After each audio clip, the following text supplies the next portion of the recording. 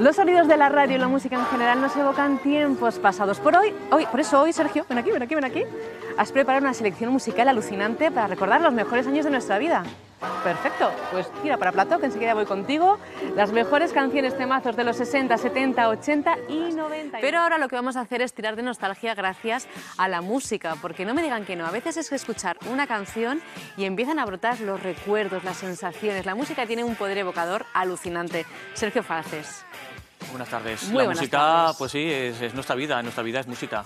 O sea que vamos a recordar cosas, ¿no? Vamos a recordar eh, seguro que cosas bonitas, eh, siempre cosas bonitas, yo creo, en este caso. Y la música nos acompaña, nos ha acompañado como sociedad, dice mucho porque evoluciona a la par que las personas. Así que vamos a hacer un repaso por algunas de las mejores canciones de nuestra vida. Empezamos por los años 60. Pues sí, los años 60 tienen que ser los Beatles, de Beatles. Hombre. Cambiaron la música y nos acompañaron durante prácticamente toda la década. Eh, acabó la década, se separaron, pero nos dejaron maravillas como el disco, por ejemplo, Sgt. Pepper's Lonely Hearts Club Band. y... Es difícil de decir ese disco, ¿eh? Sí, sí, eh, sí, a la hora de elegirlo digo yo, pero ¿por qué no puedo elegir cosas más fáciles Lo has de dicho decir? muy bien, me has sí, sí, no lo voy a repetir, ¿eh? de todos modos. Te digo, la canción que da título al disco, ¿ves? No la repito. Eh, pues es lo que creo que, que es a lo mejor de las más famosas, pero tenemos otras que es la de Losing the Sky with Diamond, por ejemplo, que son ahora mismo de, de fondo. Sí, Fíjate, qué, qué bonita. Preciosa. Y que, y que es un sonido muy 60, muy psicodélico, un disco muy bien producido porque los Beatles ya no tocaban en directo en aquella época, esto es ya el 67, y podían conseguir sonidos que luego no tenían que reproducir en un directo. Y eso eh, hizo que, que este disco, uno de los primeros conceptuales de la historia, pues fuera un disco especial y ahora mismo un disco mítico. Qué interesante. alguna. Bueno, los Beatles desde luego que marcaron un camino a seguir y siguen sonando totalmente actuales. Y en España, es. en los años 60, ¿qué, qué disco, qué canción destacarías? Pues tenemos a los Beatles españoles, eh, a los brincos es Claro. considero siempre los Beatles españoles. También teníamos aquí buenos grupos en Aragón, ya no creas, ¿eh? Sí. Hombre, por ejemplo, de, de Unkins, por ejemplo, con Félix Zapatero, un histórico de esta casa, eh, pues haciendo también versiones de los Beatles y otros muchos, ¿eh? Teníamos también eh, a los Guayanes, por ejemplo, pero nos quedamos con los brincos Los brincos. y con este tema que se llamaba flamenco y que pues era música yeye, música beat, muy Beatles, pero también flamenco, o sea, algo muy, muy, muy raro que tuvo mucho éxito al final de... Esto es muy moderno. Suena muy moderno, claro que Sigue sí. sonando moderno. Hay que decir que, que Amaral, por ejemplo, eh, han hecho una versión de este tema, muy buena además también, y es un tema que suena muy actual realmente. sí. Totalmente. Y además ahora con lo que suena la fusión y el flamenco, me Claro. refiero a Rosalía, que está haciendo cosas que dan tantísimo que Claro. hablar, todo se ha hecho ya realmente. Es que ahora todo vale, pero en los 60 no era tan fácil. ¿eh? Claro. Esto que hicieron fue algo muy valiente, tuvo éxito, pero podían haberse caído, desde luego. Más rompedor. Bueno, vamos a los 70. Cambiamos de década. ¿Qué es lo que cambia y qué música es la que empieza a sonar? Pues, eh, oye, en, en los 70 yo me quiero quedar con la primera canción eh, de rap de la historia. Esto Este es temazo. fantástico.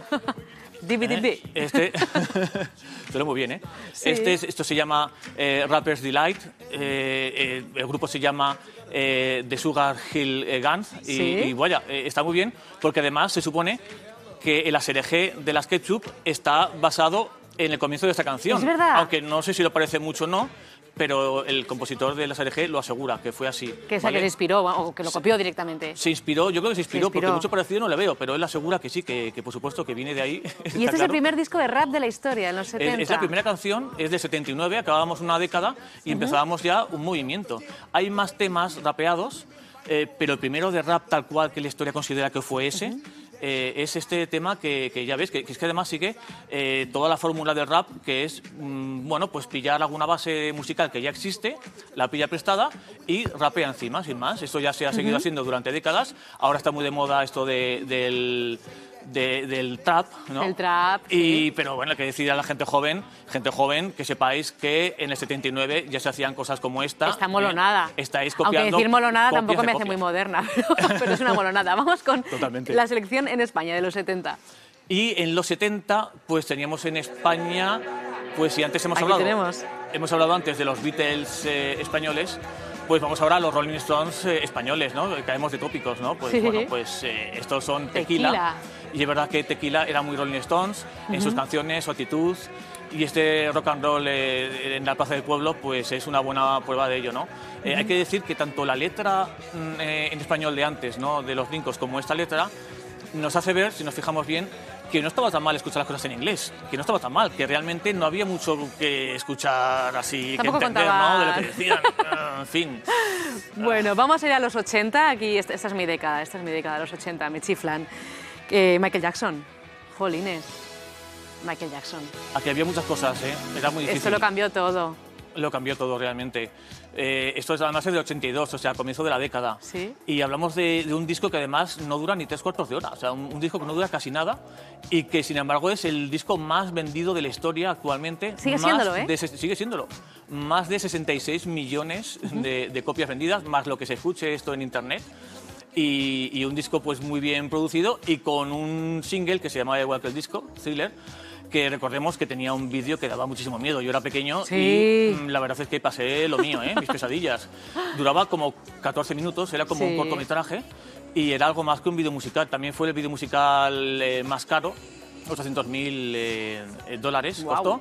Solo superado, pues creo que como 13 o 14 años después, por el Scream también de Michael Jackson. En O los sea que- 80 eh, en España la movida madrileña fue lo que lo, lo arrasó y lo petó todo, incluido también en Aragón, porque la, la movida al final se vivió en toda España. Pues sí, en Aragón pues tuvimos a gente importante en Huesca, eh, pues como por ejemplo los mestizos, en Teruel la Colla, en Zaragoza también tuvimos pues días de Viñas Rosas, eh, Bicoder, Niños de Brasil, Las Novias, bueno, un montón de cosas. Un montón. Bueno, las novias ya, ya fueron más para los 90, pero no nos podemos olvidar de eh, Más Birras. Más Birras para mí es de lo mejor que hay en los 80 y de este apuesta por el rock and roll que es un himno, es un himno generacional que además también eh, pues lo hemos escuchado en discos de Héroes de Silencio, en conciertos de Héroes de Silencio, en conciertos de Enrique Bunbury y que nos encanta, está compuesto además por Gabriel Sopeña, por Mauricio Aznar, pues eh, Lennon y McCartney de, de Aragón, sin duda alguna, y estaba en un disco que se llamaba Al este de Moncayo, del 87, y que también creo que, que ha cambiado mucho eh, yo creo que, que la historia no solamente de Aragón, eh, esto además es un disco y una canción que tardó en, en sonar en el resto de, de España, pero que ahora mismo se conoce y que ahora mismo se siente. Sigue se estando vanguardia. Eh, Vámonos, que un himno. vámonos a los 90. Los 90 también trajeron grandes temazos, como por ejemplo este de Nirvana. Aquí la música más oscura, el garaje. Aquí es donde la gente pues estábamos un poco amargados, o sea, el grunge era amargado, o sea, Sí, muy amargado. ir de O sea, amargado por la vida. Era, era la- exactamente. Ahora que estamos acostumbrados ¿no? al reggaetón, ¿no? que todo es alegría y bailar, Sí. pues hay que decir, eh, gente que eh, en los 90 íbamos a cualquier garito de moda y sonaba esta canción. O sea, es que es así, no era una canción underground, era una canción muy de moda, era lo que más vendía entonces, aunque parezca mentira. Era, pues sí, pues cortarte las venas, básicamente, ¿no? Pues eso, éramos jóvenes que nos habíamos criado viendo Marco y eh, películas como Campeón, que era una cosa, eran tragedias, y nos apetecía ya un poco, pues, eh, sufrir. Mm, Y bueno, pues el grunge, que era un movimiento que comenzó en Seattle, pues era eso, era sufrimiento, y Nirvana y este, este disco, Nevermind, pues era sufrimiento y nos gustaba sufrir, oye. bien. Esto a nivel internacional y a nivel local. Pues eh, a nivel también internacional, ¿eh? También, Tenemos también, Héroes de Silencio. También he dicho local, perdónenme. Evidentemente no, me refería local, a es España, lo que nació aquí en Por Aragón, supuesto. Zaragoza. Sí, sí, por supuesto, exactamente. A nivel local estaban ellos, No quiero ofender a nadie. a nivel local estaban Héroes de Silencio, que es verdad que es un grupo local que trascendió mucho más allá de Aragón, mucho más allá de España, mucho más allá de Europa, son internacionales y en los 90 sonó mucho el rock y sonó mucho el rock también de Héroes de Silencio con este El espíritu del vino y con esta canción Nuestros Nombres, que fue el primer single que nos dejó todo el mundo flipando, diciendo, pero ¿qué pasa con Héroes de Silencio? Que son todavía más rockeros Son lo más. y un rock and roll que se puso muy de moda y un grupo que a día de hoy pues se supone que está separado, digo se supone porque se sigue hablando de él, siguen haciendo Totalmente. documentales de él y sigue estando de total actualidad. Sergio. De Silencio, Maños de la Tierra. Hombre, claro que sí. Se nos quedan muchos temas en el tintero, mucha música, así que te invito a que vuelvas otro día y se- sigamos buceando en la historia de la música porque es apasionante escucharte hablar, porque tienes muchísima información, sabes muchísimo nota que te apasiona, así que estás invitado para música. otro día. Cuando queráis. Perfecto, Sergio. Música forever. Millones de gracias, Música Forever. Me Gracias por invitarme, de verdad. Un abrazo.